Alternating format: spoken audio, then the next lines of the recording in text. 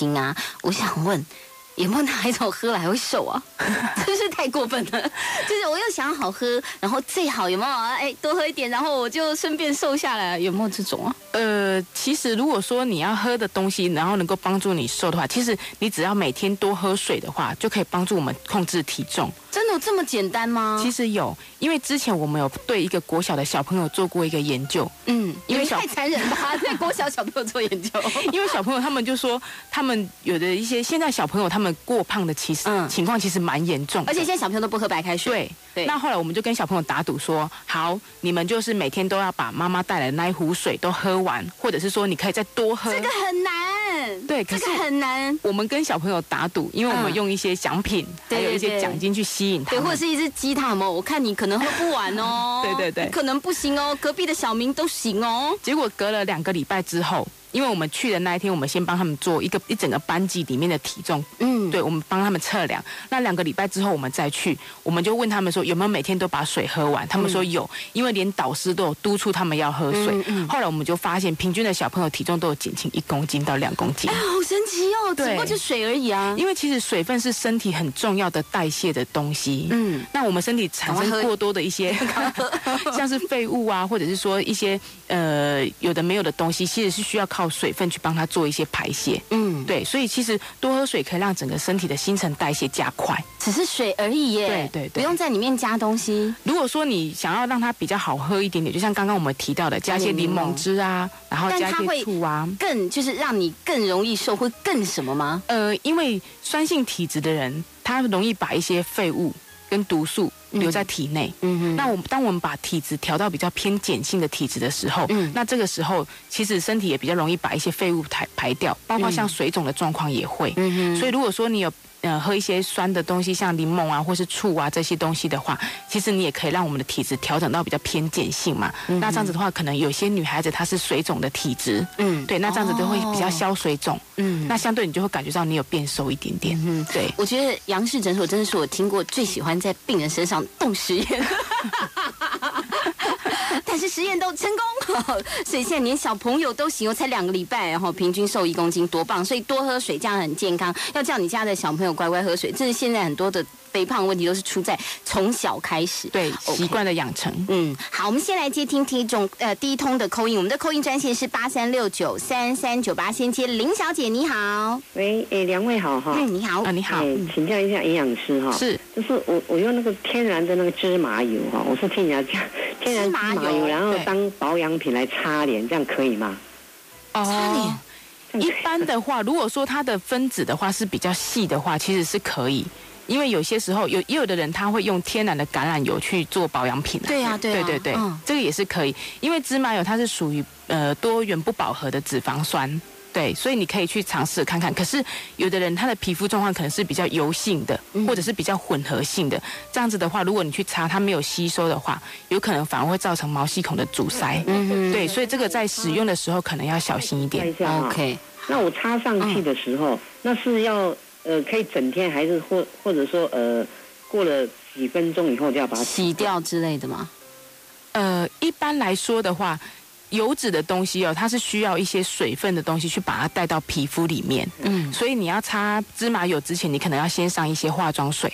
哦，对，上完化妆水之后再去做，再擦一些芝麻油，但是量可能不能太多，嗯，因为你可能要做一些按摩，嗯，因为让皮肤去吸收，嗯，那如果说它有吸收的话，你就不用去洗掉，嗯，对，只是说如果说你没有让它吸收那么完全的话，你可能就是需要去用清水把它稍微冲一下，洗一下，对，然脸上很油，因为你留在脸上的话，太油的话就不好。对，先生就会说：“你刚刚炒完菜还没洗脸吗？” 因为我真的觉得每次炒完菜之后都有一种我刚刚敷脸了的感觉，好用油敷脸感觉。OK，谢谢林小姐你的扣印，拜拜。我们的扣印专线是零二八三六九三三九八，可是要稍微休息一下。广告之后，如果你有任何跟这个减重相关的问题，要怎么样的吃才会又健康又瘦呢？您都可以扣印进来请教我们的特别来宾，杨氏诊所的蔡雅玲蔡营养师。这个报新闻，听见全世界，哦呀，每分每秒都陪伴着。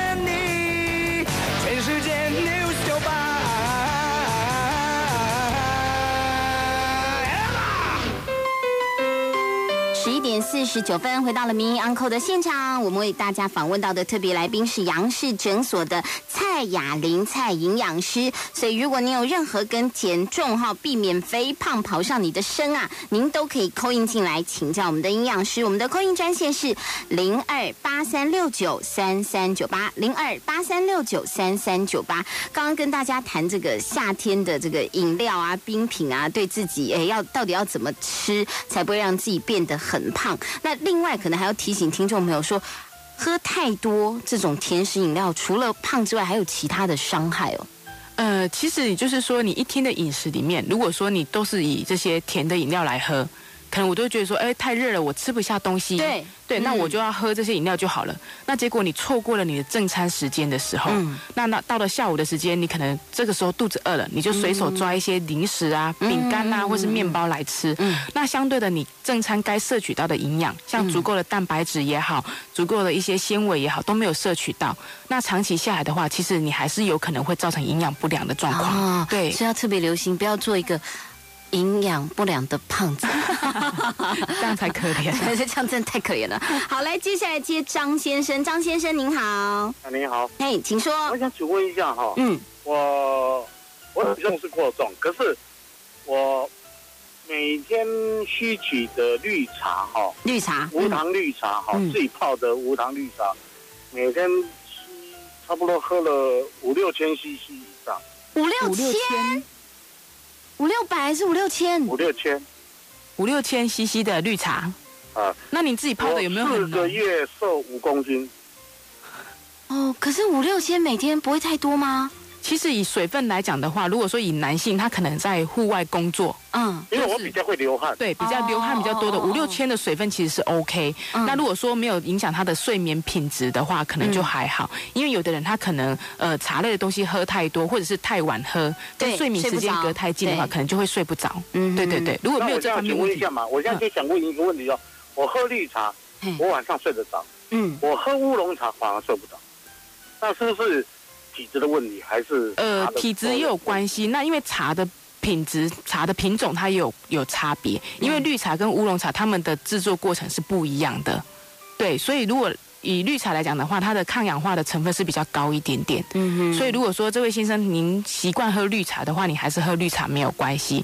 只是说我不建议就是全部都是喝绿茶。嗯。可能有些时候。还是要用水分来摄取，因为绿茶里面的一些茶酸啊、茶碱等等，它会影响一些营养素的吸收。哦，对，会有一些抑制的状况，像铁剂啊、铁质啊，还有一些其他的一些矿物质，可能会影响到它的吸收哦。嗯，OK，所以说也是五六千是还蛮大量的，你分两千白开水好了。OK，好，来接下来接吴先生，吴先生您好。呃，营养师主持人两位好。你好，嗯，请问一下那个高血脂跟糖尿病的。患者是适合西洋芹沾蜂蜜长期吃吗？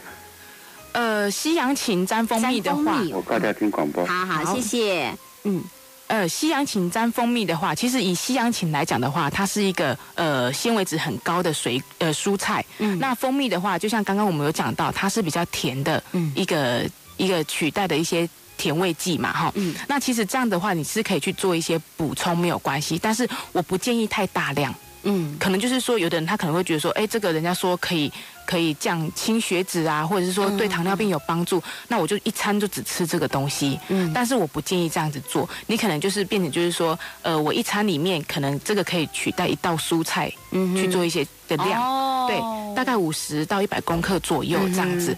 但是你其他的一些蔬菜还是要摄取，那其他的水果啊，还是说其他的蛋白质的东西，还是要均衡去摄取到。那用这个去取代一些些没有关系，但是不建议太大量。嗯哼，对，OK。所以其实啊，我们都会有一一些这样的毛病。像我就是那种人，听人家说吃什么好，我就会把它直接当代餐了，然后就会有很惨事发生。比如说，我也有用芦荟打那个蜂蜜汁，我有连皮哦，然后这样吃过很久，然后真的是差到不行。那 就是肠胃的部分，对。那这个也是很可怕，所以大家有一些诶坊间的呃传说哈，可能多少有一点用啦，但是适可而止。对，适可而止，嗯，就是不要说很依赖这个东西，就觉得说，哎，我光吃这个东西就对我的一些病情啊，或者一些症状有有所改善这样子。嗯，因为其实很多人他很容易会有这种迷思，而且还不吃药了。对他这样子的话，其实有些时候会延误，反而就是变成更严重这样子。对。